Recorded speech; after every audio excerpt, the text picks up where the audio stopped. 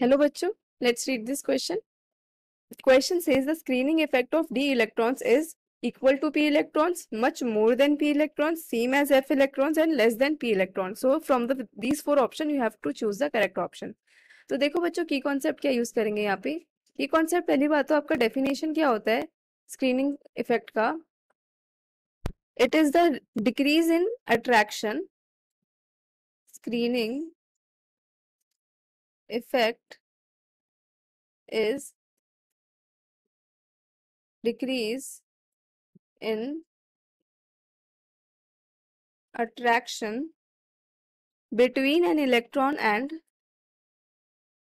between an electron and the nucleus of an atom the nucleus of an atom with more than one electron. With more than one electron. And it is caused by mutual repulsion between it is caused by mutual repulsion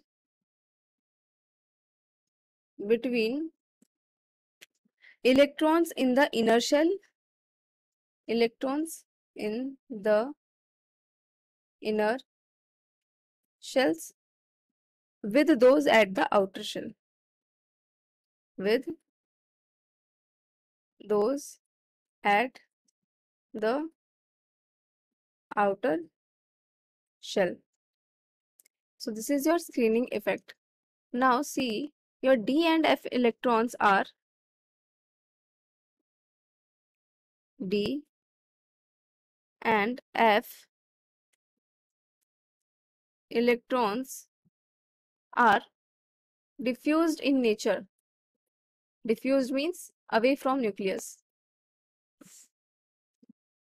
Diffused in nature that means away from nucleus. Away from the nucleus. While your s and p electrons are closer towards the nucleus closer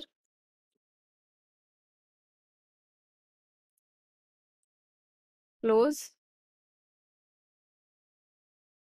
towards the nucleus.